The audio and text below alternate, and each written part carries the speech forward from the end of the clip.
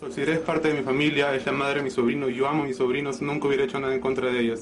Yo soy inocente, Andrea es una criminal y va a tener que responder por todos sus actos. Tú nunca has Está tenido- mintiendo en contra mío y eso va a ir en su contra. Tú nunca has tenido nada que ver con relación al tema del homicidio, ¿no es Nunca, cierto? nunca. Yo amo a mi sobrino ¿Por qué más que crees que nada. te critica Andrea entonces? Dice que tú la cortaste. No, es, es lo que ella está diciendo, va a tener que demostrarlo y no va a poder.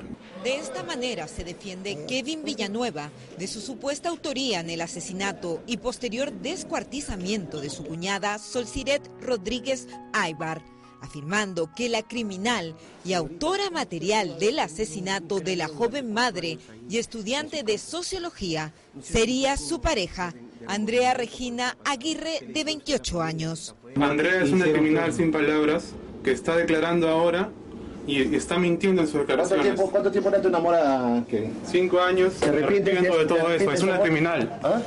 Kevin Villanueva en todo momento ha intentado deslindarse de responsabilidades, echándole la culpa en repetidas ocasiones a su pareja sentimental. Esta última ha decidido guardar silencio ante las cámaras de televisión. Señorita, ¿cómo usted pudo haber tenido un cráneo durante cuatro años ahí en su casa?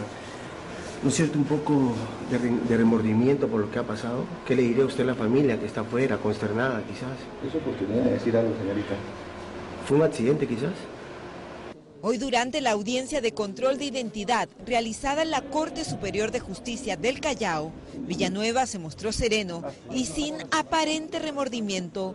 Por su parte, Andrea Aguirre se quebró cuando la jueza Gisela Guaitaya le preguntó por el nombre de sus padres. ¿Nombre de sus padres?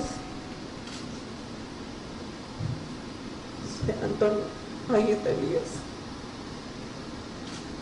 Tanto Andrea Aguirre como Kevin Villanueva estarán detenidos en la carceleta de la Dirincli de Avenida España hasta el viernes 21 de febrero, fecha en la que vence el plazo de detención preliminar y que la Fiscalía tendrá como último día para solicitar prisión preventiva ante el Juzgado de Investigación Preparatoria del Callao.